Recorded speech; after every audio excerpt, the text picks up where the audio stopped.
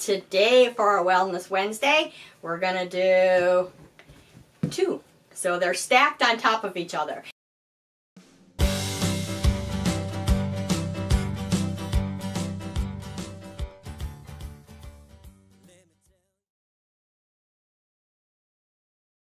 This is completely new for Dexter, so let's see how he does. Remember, I will have to help steady it to make sure that it doesn't fall on him. So I got it stable. I'm going to want him to come on the other side just so you guys can see. So toss the treat over there. Ready? Up. Good boy. So this is really stretching for him. So much so that he actually got off on his own. Up. Good. Wait. Easy. Good boy. Up. So this must definitely be more challenging for him. So it's going to work that core even more.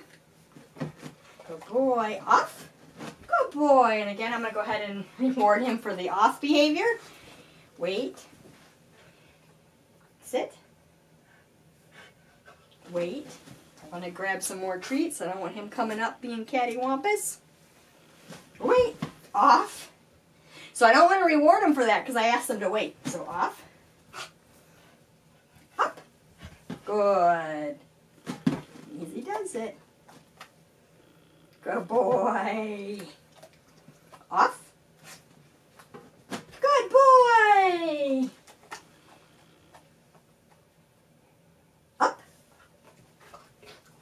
Good boy. Good boy. Okay, off. Good boy. All right, so there you have it. Two.